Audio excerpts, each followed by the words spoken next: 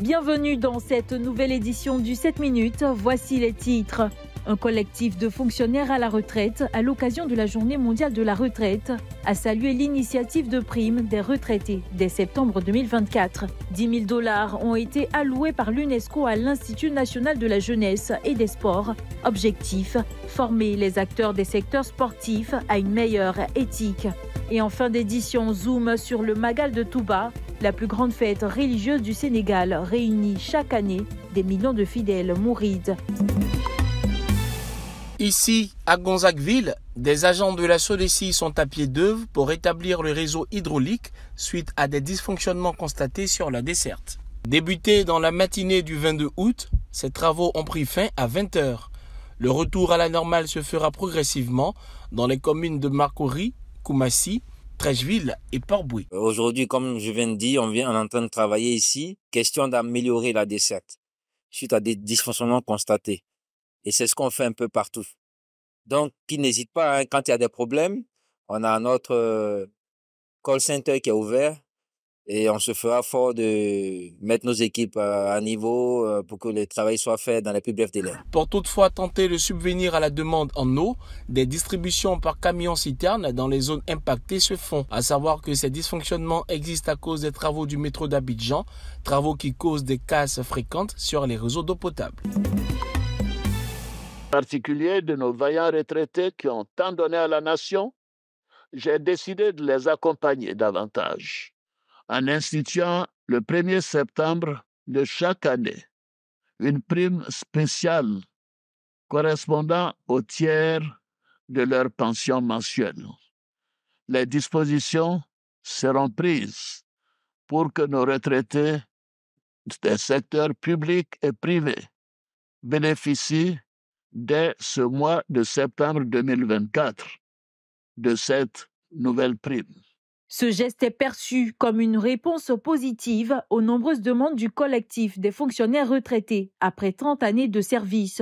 Ils expriment leur reconnaissance. Depuis deux ans, nous appelons le président à ce qu'il élargisse euh, ce prime aux retraités, que cela a été fait. Nous avons convié la presse pour dire merci au président de la République. Juste lui dire merci de nous avoir écoutés. Le coffretas qui avait sollicité cette mesure pour atténuer les difficultés liées à la cherté de la vie remercie le président pour son écoute et son soutien, tout en exprimant l'espoir que d'autres préoccupations des retraités seront également prises en compte. Tant que notre principale euh, revendication n'est pas satisfaite chaque année, nous allons nous réunir ici, nous allons vous appeler, que vous puissiez relayer à notre demande au chef de l'État. Nous avons dit, toutes les structures étatiques que nous avons consultées, que nous avons contactées, avec lesquelles nous avons eu des séances de travail, ne nous ont pas permis de trouver une solution à notre problème. Nous avons donc décidé de nous adresser directement au président de la République par la voie de la messe. Nous espérons qu'il a entendu aussi. Cette prime marque une reconnaissance de leurs années de service le collectif appelle à la continuité du dialogue pour résoudre les autres problématiques et espère voir la qualité de vie des retraités s'améliorer. 10 000 dollars, un chèque signé de l'UNESCO qu'a reçu professeur Kwame Nguessan, directeur de la formation continue et de la recherche à l'INJS. Objectif propulser le lancement de la cellule pédagogique de la mise en œuvre de la politique de l'éthique des valeurs et de l'intégrité du sport en Côte d'Ivoire 2023-2025. Donc là-dessus, on a joint nos efforts avec le Comité national de lutte antidopage, avec aussi le comité exécutif euh, qui est basé à l'UNESCO à Paris pour la lutte antidopage au niveau mondial. Euh, pour travailler sur des contenus de formation euh, avec bien sûr les formateurs qui sont au niveau de l'INGS et mettre en place un curriculum et des modules de formation qui vont bénéficier aux gens qui rentrent dans la fonction publique, dans les domaines sportifs aussi.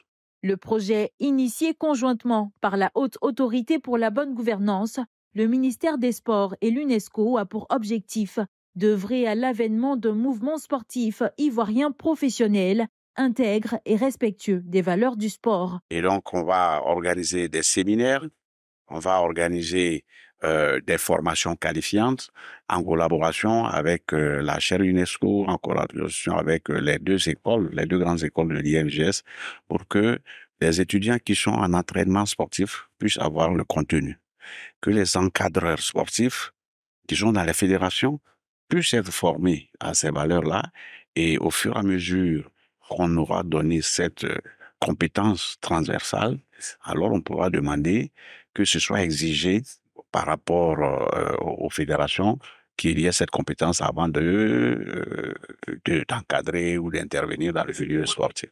L'éthique sportive couvre un champ large d'intervention, entre autres la prévention des comportements à caractère raciste et antisémite, la prévention du dopage et des conduites dopantes, la prévention des comportements à caractère sexiste et des violences faites aux femmes et le fair play financier.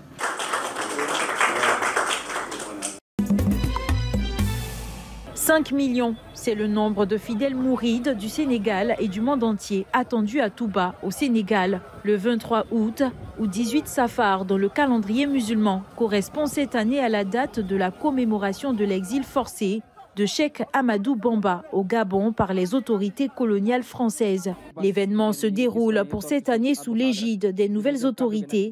Ainsi, le président nouvellement élu, Bassirou Diomaye Faye, a effectué lundi une visite de courtoisie au calife général des Mourides, Serigne Muntaka Mbake. La tradition est aussi observée en Côte d'Ivoire, plus particulièrement à Grand Bassam où Cyrine Touba a effectué une escale en 1895 avant d'être déporté au Gabon. C'est la fin de ce 7 minutes. Merci de l'avoir suivi. L'actualité continue sur cette info et sur cette info.ci.